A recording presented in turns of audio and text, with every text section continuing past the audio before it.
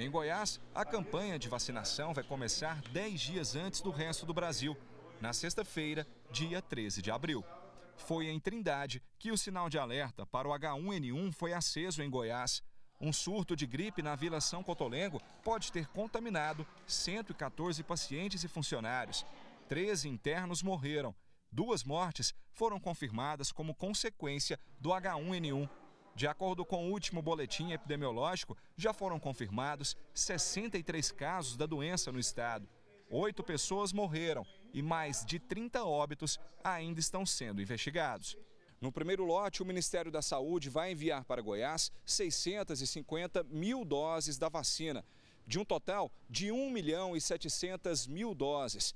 Elas vão ser distribuídas imediatamente para todos os municípios do estado. Todas as secretarias municipais receberão a sua a vacina.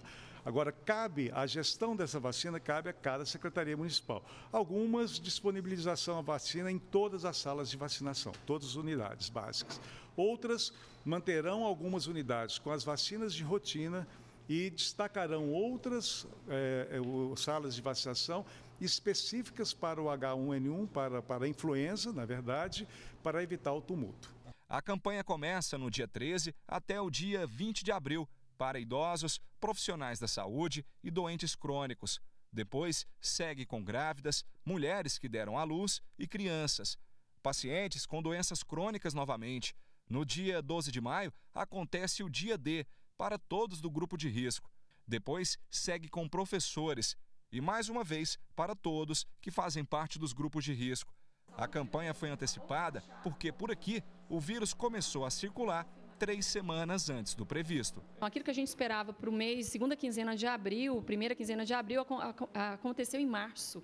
Né? Isso fez com que todas as providências também nós tivéssemos que antecipar, né? tanto a parte de orientação quanto a procura pela vacina também. Em Goiânia, foram duas mortes confirmadas até agora. Uma delas do pediatra que atendia no Cais de Campinas. A população que não acha a vacina nem nas clínicas particulares não vê a hora da campanha começar. A gente nunca consegue tomar, né? Porque tem as pessoas de risco, criança, idosos. Eu nunca consegui. Ah, é um alívio saber que a gente já vai tomar, né? Que a gente tá todo mundo desprotegido.